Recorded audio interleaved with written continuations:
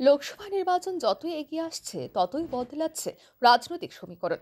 শাসক জোটে সামিল হয়েছে প্রধান বিরোধী দল তিপ্রামথা তিপ্রামথার দুই বিধায়ক তথা অনিমেষ দেববর্মা ও বৃষকেতু দেববর্মা মন্ত্রী হিসাবে শপথ নিলেন। বৃহস্পতিবার রাজভবনে আয়োজিত অনুষ্ঠানে রাজ্যপাল ইন্দ্রসেনা রেড্ডি নাল্লু তাদের শপথ বাক্য পাঠ করিয়েছেন।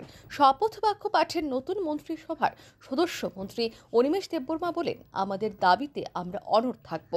কেননা দলটা আমার একার না, দলটা হাজারো মানুষের। সুতরাং দলের দাবি ছেড়ে দল করা যাবে না। প্রতিটি দলেরই একটা নিজস্ব দাবি থাকে এবং সরকারের একটা দৃষ্টিভঙ্গি থাকে। মন্ত্রীরা সরকারের প্রতিনিধি হয়ে জনগণের কাজ করে।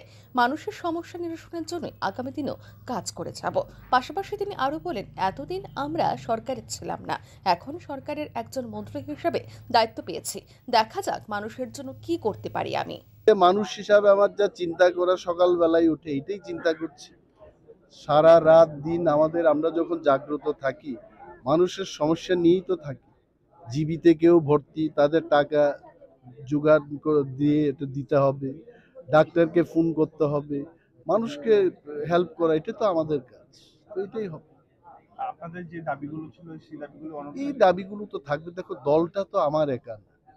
দলটা হচ্ছে হাজারো মানুষের দলের সুপ্রিম লিডার। মহারাজা উপস্থিত আছেন এখানে। দলের দাবি ছেড়ে তো দল হবে না। প্রতিটি দলের তার ইয়ে নিজস্ব একটা দাবি থাকে। তো সরকার একটা দৃষ্টিভঙ্গি থাকে। Minister will do the work of the government আপনি প্রায় সময় প্রেস কনফারেন্স করে বিভিন্ন জিনিসগুলো খতিয়ে বলতেন যে এই হচ্ছে সেগুলো এখন কীভাবে না এখন একটা জিনিস হচ্ছে যখন হাতে কোনো ক্ষমতা ছিল না ধরো সাপ আসছে সাপকে ধরতে হবে। তো যখন আমার ধরার ক্ষমতা নেই তখন আমি অন্যদের বলব ধরো ধরো ধরো। এখন আমার নিজেকেই চেষ্টা করতে হবে সাপটা ধরতে। এই ডিফারেন্স এদিন শপথ বাক্য পাঠ করে বিশ্বকেতু দেববর্মা তার প্রতিক্রিয়া জানান। জনজাতিদের অধিকারগুলির পূরণের জন্য আগামী দিনও লড়াই করে যাব। তিনি বলেন ভারত সরকারের সঙ্গে তিপ্রামথার যে চুক্তি স্বাক্ষরিত হয়েছে। সেইগুলি দ্রুত বাস্তবায়নের লক্ষ্যে আগামী দিন কাজ করে যাব। মন্ত্রী হিসেবে শপথ নিয়েছি।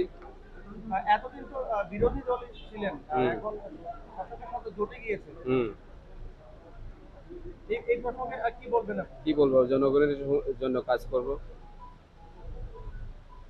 আগামী দিনে জনজাতিদের সাথে আপনি কি কি করতে চান? আমরা আমাদের জনজাতির যে অধিকারগুলি আছে সেগুলি পূরণের জন্য অবশ্যই লড়াই করে যাব। আমরা গভর্নমেন্ট অফ ইন্ডিয়ার সঙ্গে ত্রিপুরামথার অ্যাকর্ড হয়েছে। এই অ্যাকর্ডগুলিকে বাস্তবায়িত করার জন্য আমরা আগামীকাল আগামী দিন কাজ করে যাব। সরকারের সাথে জোটে যাওয়া এটা কি আগে থেকেই সাজানো ছিল নাকি? না না এরকম কোনো কিছু নেই। আমাদেরকে গভর্নমেন্ট দেখেছে যেহেতু আমরা এখানে তেরো জন এমএলএ আছি এবং গভর্নমেন্ট অফ ইন্ডিয়া আমাদের সঙ্গে অ্যাকর্ড করেছে ওদের ওদের রিকোয়েস্টেই আমরা আজকে গভর্নমেন্টে আছি এবং এই গভর্নমেন্টের থেকে আমাদের জনগণকে যা যা রাইটস আমাদের জনগণের অধিকার সেগুলিকে পূরণ করার জন্য আমরা চেষ্টা চালিয়ে যাব। থ্যাংক ইউ কি বলবেন? সাংবিধানিক সমাধানটা কতটা হবে? ওইটার জন্যই আমরা আজকে মন্ত্রিসভায় অংশগ্রহণ করেছি। দেখা যাক সামনের দিনে কি হয়। থ্যাংক ইউ এদিন অনুষ্ঠানে উপস্থিত ছিলেন মুখ্যমন্ত্রী অধ্যাপক ডক্টর মানিক সাহা, পর্যটন ও পরিবহন মন্ত্রী সুশান্ত চৌধুরী, মন্ত্রী সুধাংশু দাস, মন্ত্রী রতনলাল নাথ, মন্ত্রী শান্তনু চাকমা সহ বিধায়ক বিধায়িকারও ছিলেন প্রদেশ বিজেপির সভাপতি। রাজীব ভট্টাচার্য, আগরতলা পুর নিগমের মেয়র দীপক মজুমদার, মুখ্য সচিব জে কে সিনহা, রাজ্য পুলিশের মহানির্দেশক অমিতাভ রঞ্জন, তিপ্রামথা প্রাক্তন সুপ্রিমো প্রদ্যুৎ কিশোর দেববর্মন, তিপ্রামথা দলের আহ্বায়ক জগদীশ দেববর্মা ও রাজ্য প্রশাসনের বরিষ্ঠ আধিকারিকগণ।